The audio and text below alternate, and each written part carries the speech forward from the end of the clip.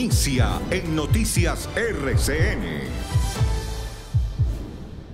Atención, conocimos la audiencia completa contra los cinco capturados vinculados en el atentado contra el presidente Iván Duque. Una de las revelaciones clave es que pretendían cometer el ataque en la mañana y que además escondieron las armas en sábanas. Primicia Noticias RCN. El ataque al helicóptero presidencial se frustró en horas de la mañana y hubo cambio de itinerario y de fecha del ataque presidencial.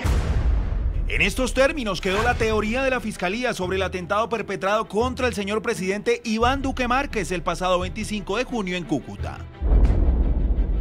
En exclusiva, Noticias RCN conoció toda la investigación del ente acusador liderada por el propio fiscal general de la Nación, Francisco Barbosa, que detalla paso a paso la génesis de este atentado terrorista.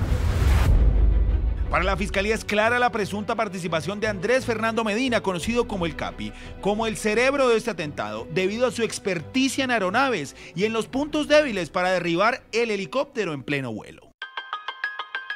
Habría suministrado el lugar donde deberían impactar la aeronave para causar el derribamiento, de acuerdo al estudio previo de las condiciones topográficas del aeropuerto Incluso se reveló por parte de la Fiscalía la gestación del plan. Que al menos con anterioridad, junio 19 del 2021, ya se había ideado e iniciado la planeación y ejecución de este hecho terrorista en contra del señor presidente de la República, doctor Iván Duque Márquez.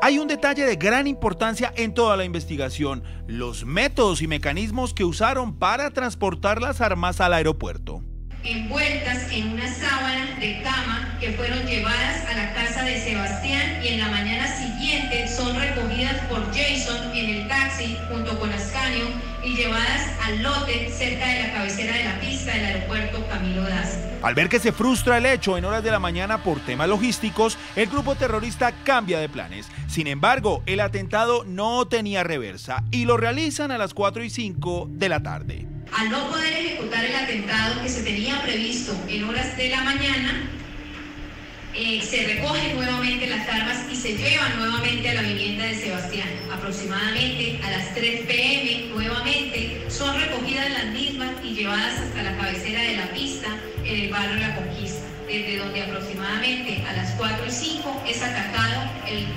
helicóptero del señor presidente. El fiscal general Francisco Barbosa así lo reseñó en la investigación. Lo que denota el trabajo serio, investigativo, que se ha realizado por parte de la Policía Nacional y de la Fiscalía. No podíamos fallarle al país y en ese sentido le agradecemos a la Judicatura también acompañar este proceso investigativo en Colombia. Por terrorismo, homicidio y concierto para delinquir fueron procesados los cinco capturados por este hecho.